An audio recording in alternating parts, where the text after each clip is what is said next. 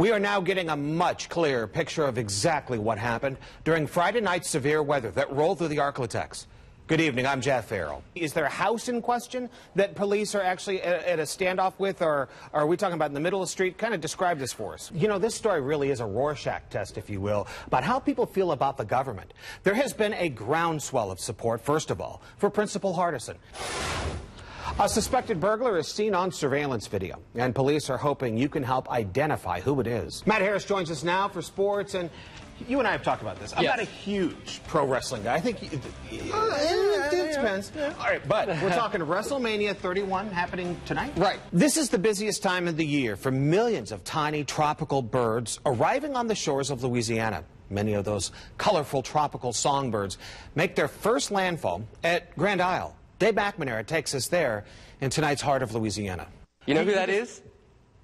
LeBron James. that's LeBron James. I made him stop saying that. Anybody who doesn't know, I think was it last weekend? No, it was two, three weekends ago. Right, and he played this this little Vine clip, I guess. Right. That's what the kids are watching. Folks now? see me now and they're like, right. "Hey, what's up, LeBron, LeBron James. James?"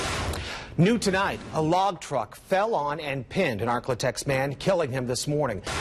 In Baltimore, violent protests last night gave way to church services today after the recent death of Freddie Gray.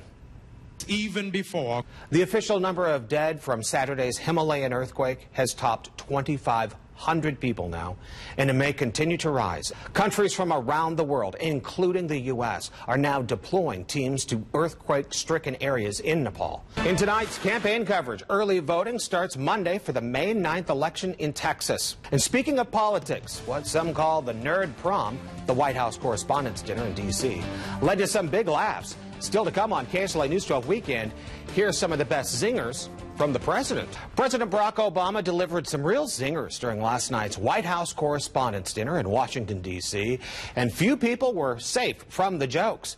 That included former Vice President Dick Cheney.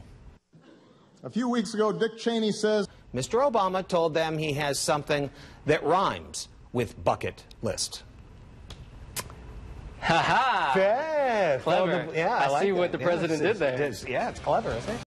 This is a brown bag kit handed out to Shreveport police patrol officers in recent months.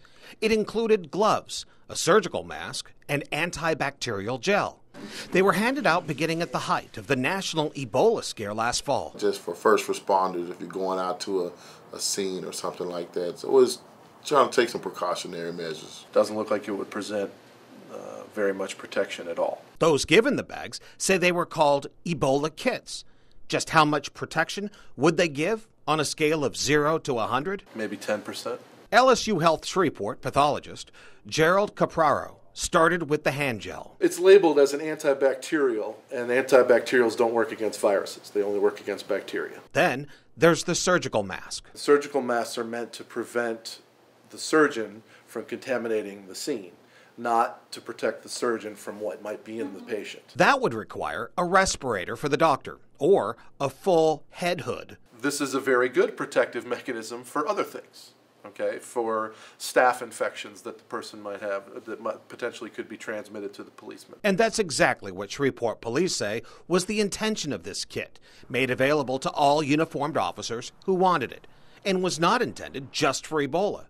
But one source inside the department posted this picture on social media, showing a bag that reads Ebola Help Bag, which we're told officers had to sign for when receiving. Jeff Ferrell, KSLA News 12.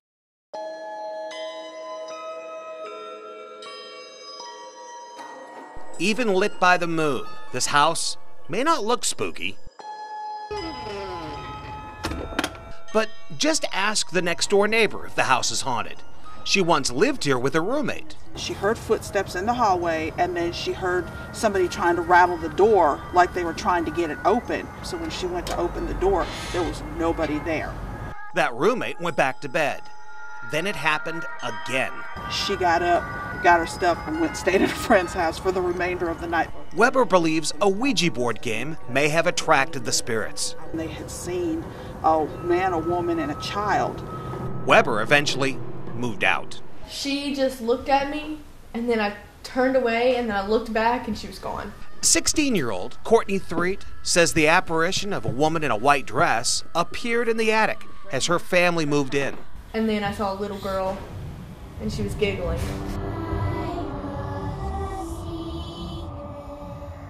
Her mom wasn't a believer until I felt a tug on my hair. And I had turned around to, you know, tell my husband to quit. And there was nobody there. Hey, James. the family turned to the paranormal group Louisiana Spirits. Bess Maxwell led the team. You're looking at three cameras. This one is in the attic. The other cameras monitored the dining room and Courtney's bedroom. She has reported seeing an apparition of a man outside looking in the window. Then came lights out. If that thing just goes off and all the rest of us are just sitting here and nothing is happening, then something is over there. LA Spirits and its members say so far in their investigations they have not had much luck when it comes to video evidence of any paranormal activity. But they do say they've had plenty of audio proof in the form of something called EVPs, electronic voice phenomenon. Believers say EVPs are typically short, like a word or phrase. Maxwell says an EVP from this house back in December is a voice possibly saying, I'm Gilbert. Listen again.